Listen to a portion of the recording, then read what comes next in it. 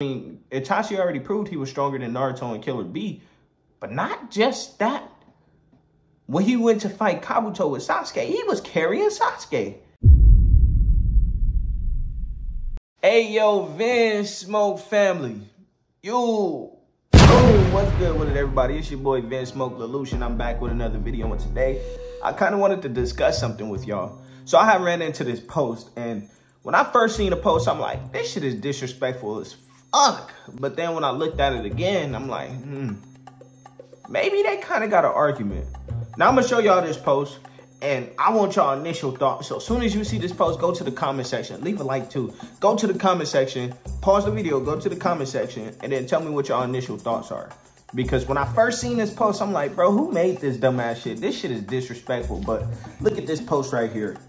This post says that Itachi's biggest weakness was Guy Sensei. The reason being because Guy Sensei can fight without looking at Itachi. He can just fight looking at his feet. Although that is true, Guy Sensei can do that, but that don't mean a goddamn thing against Itachi, man. Naruto thought that he was about to do the same thing, and then next few minutes he running around throwing around Rasengans, and we we don't even know what the fuck is going on. But whole time he is in a Genjutsu. This nigga is fighting crows. He had he not um not he not he had Sakura waking him up like, bro, what the fuck are you doing? You already in a Genjutsu? And that was only like 30% of Itachi, right? And this is a Naruto after the training arc, after the two years, you know, after the time skip.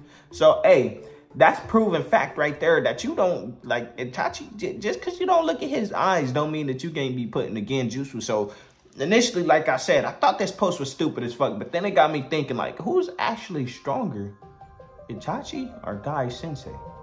And I know y'all may be like, whoa, Guy Sensei, he was able to compete with Madara. Well, the only reason he was able to do that was because he was about to die. I mean, realistically. So, I mean, if you want to say that he'd have to die himself to beat Itachi, okay, we can agree on that. If he opened up all of his gates, right? And he's basically about to kill himself just to beat Itachi. Okay, we can agree on that. But if he's not using those, hmm, who will win?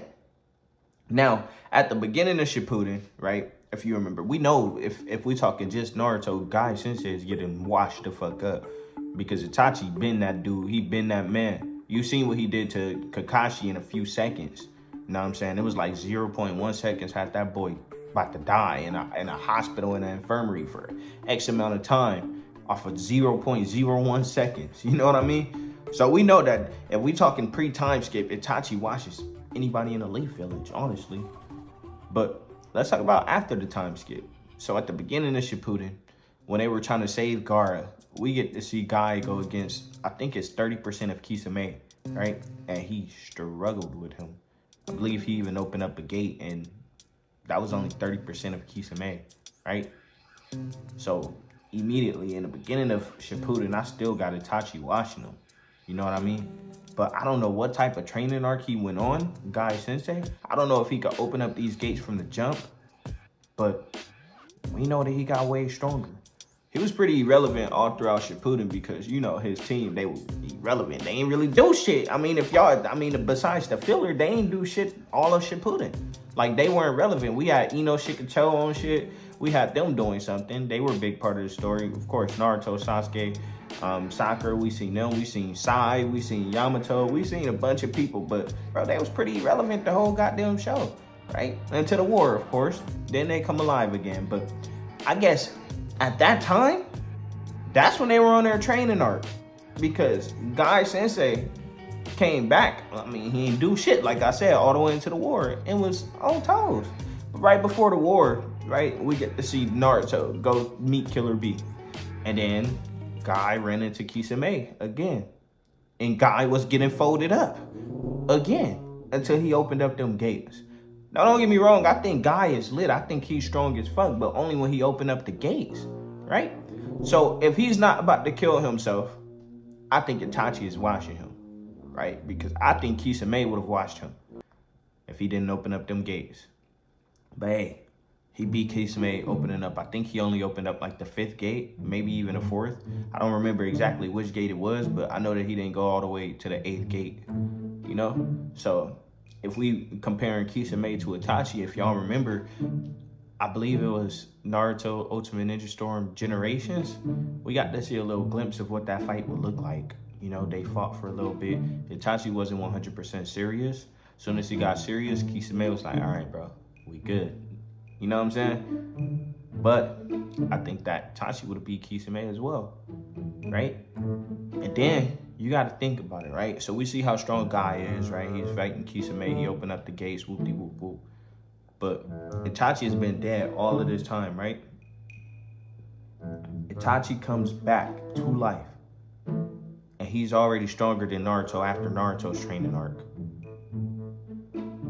Some people say, some people say, the, the reason why I say that he's stronger is because they fought against Nagato, right?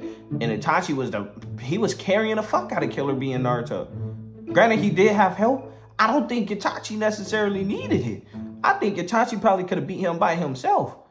Y'all may disagree with me, but immediately Itachi hit him with the with the Amaterasu, hit him with the Yasuke It was like Itachi didn't even break a sweat against him. You know what I'm saying?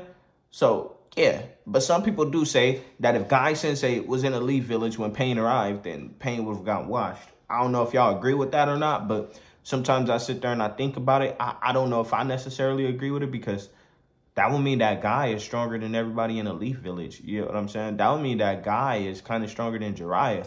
And I know people be all like, well, Jiraiya didn't know it was X amount of people. Jiraiya still got folded, bro. I'm, I'm just saying. Jiraiya still got folded. I fuck with Jiraiya too, but he still got folded. A lot of people say that if if Guy Sensei was in a Leaf Village, he would have been able to defeat Pain. Now, let me know if y'all agree with that. Because that will mean something. Because Nagato, Pain, they kind of equal the same thing. I believe Nagato was a little bit stronger.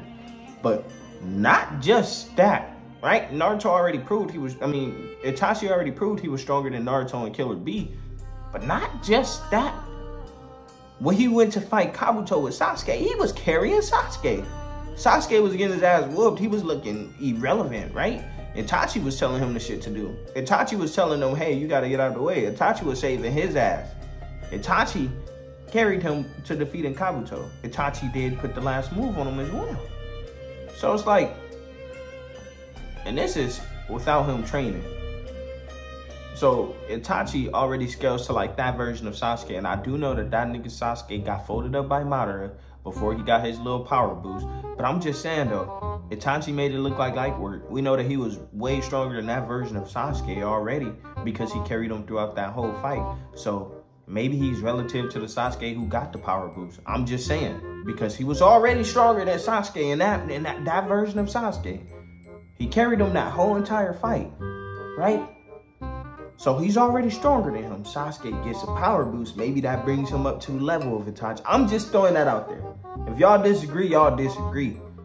Now, we do know that if Guy open up every single one of his gates, okay, Itachi, you get him packed up.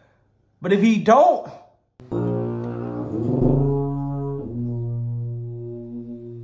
then who will win? Y'all let me know in the comment section down below. Because this is something that, I, that I, I've really been thinking about it.